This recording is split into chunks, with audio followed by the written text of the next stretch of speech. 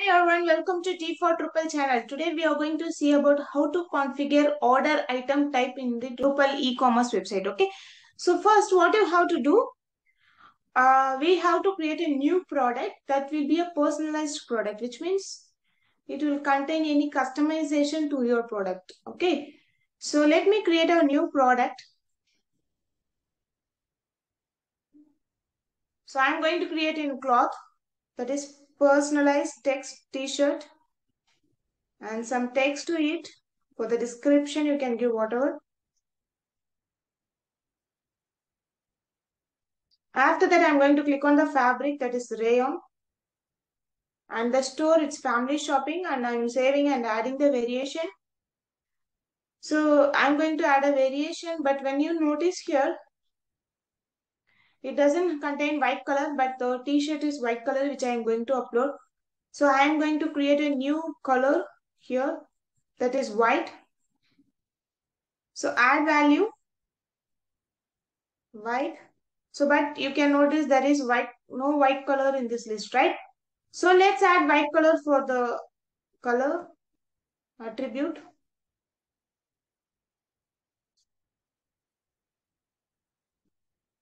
For white color, it's FFF, 4F, right?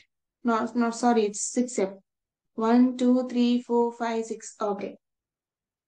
Update and save.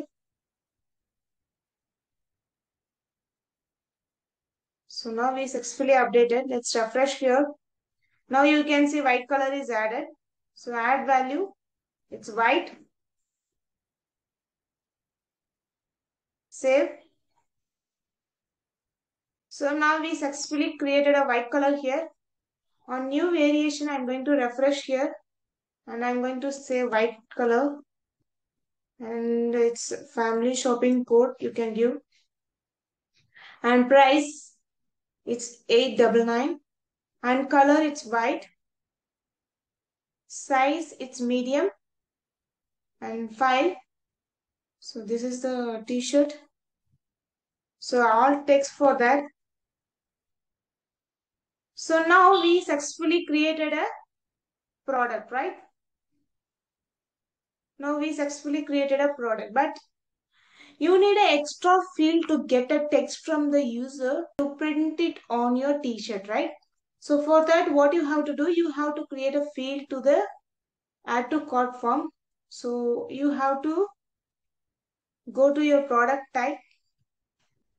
So cloth, we are using a variation of clothes. So I'm going there. So here you can see it is using the order item type of default. So go to your order item type.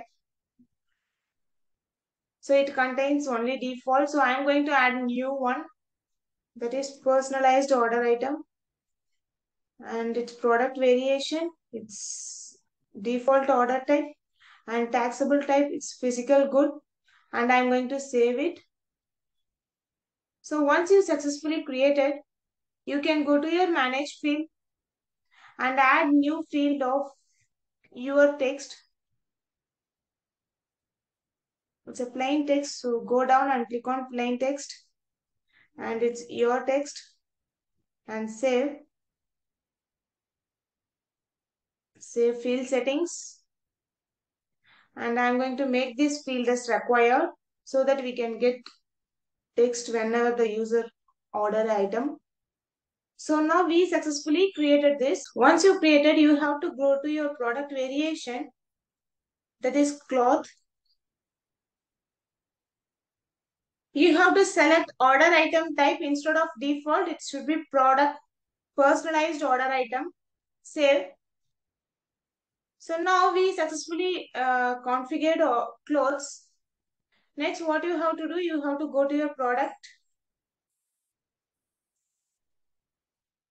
and click on personalized t-shirts. So when you scroll down, you are not able to see the text, right? Because in the order item type, go to your manage form display. Here you have to configure the your text on the add to cart display. Here it contains only purchased item. So I'm going to drag and drop the uh, your text at the top. So now we moved your text to the top on the add to cart form display.